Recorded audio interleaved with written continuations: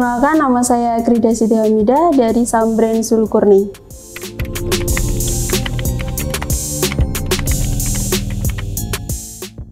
Untuk saat ini jumlah resellernya 2947, 100 agen. Sambren saat ini ada 5 om.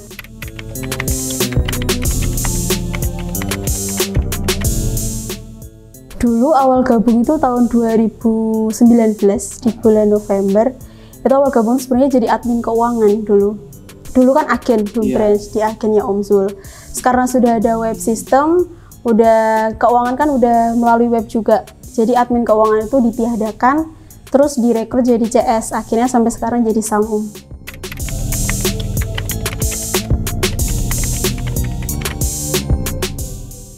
Yang paling mengesankan sih eh, ngawal jaringan ya Om, dengan beraneka ragam karakter sama sikap. Terus dari berbagai daerah kan juga bahasanya kadang eh, suka lucunya di situ. Oh. Dari pemahaman bahasa sama karakter Iya, jari bahasa. jaringan. Iya.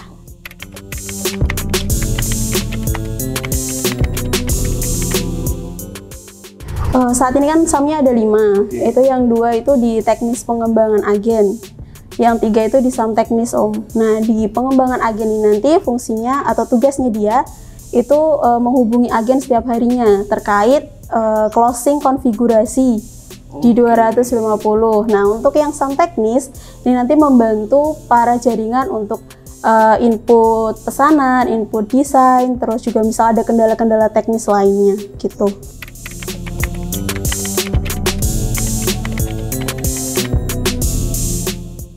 Untuk saat ini, alhamdulillah yang sudah closing dua, dua agen, terus yang sudah di 100 reseller konfigurasinya itu ada empat, yang mendekati itu udah hampir 10, yang lainnya masih proses om, masih proses open reseller, terus juga pemantapan materi karena kan banyak beberapa agen itu yang masih baru, jadi kemarin baru daftar jadi reseller, terus langsung naik jadi agen.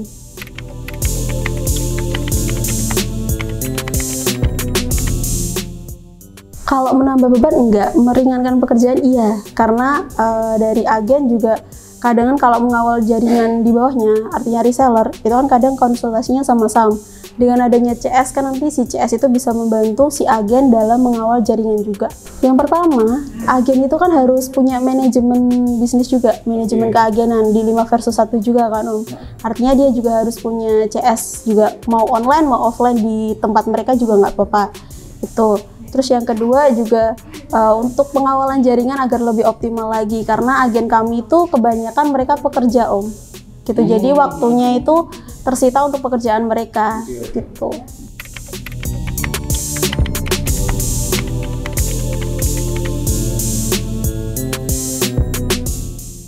Yang pastinya melakukan pendekatan ke jaringan ya Om tiap hari itu diajak komunikasi, kendalanya apa, terus eh, misalnya mereka butuh bantuan kayak input, tadi udah ada sam teknis buat ngebantu, setiap hari juga diingetin jangan lupa posting ya Om Tante kayak gitu.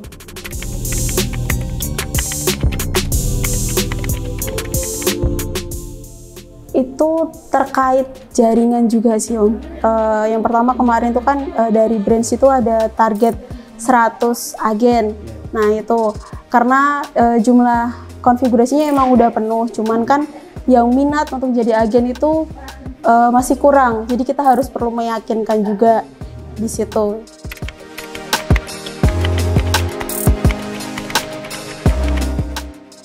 Pernah kalau terkait sistem.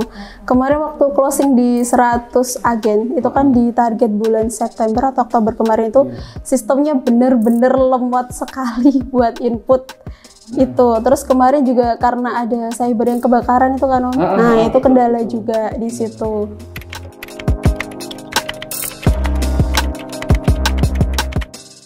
Kalau waktu closing itu yang input solusinya di SAM semua om. Jadi jaringan nggak input biar nggak tambah lelet.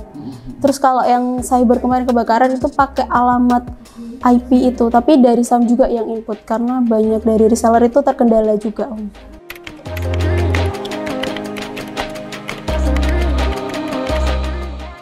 Itu karena dari jaringan juga sih om. Jaringannya kita yang alhamdulillah aktif. Mereka aktif marketing juga melakukan tiga jurus marketing terus ada yang pakai ads juga om.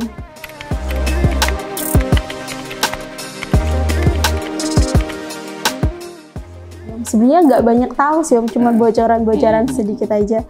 Uh, itu kan sebuah aplikasi kayak marketplace berbasis okay. media sosial juga. Okay. kayak gitu. Dan uh, kemarin juga dapat bocoran kayaknya menarik sekali gitu. Kita bisa konten di situ bisa jualan di situ dapat profit juga dari situ. Kayak gitu sih om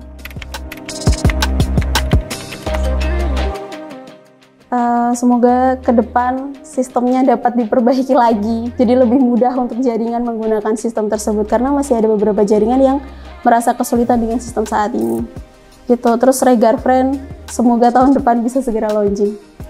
Tetap semangat, tetap sabar menghadapi jaringan, terus tetap berpikir positif untuk ke depannya.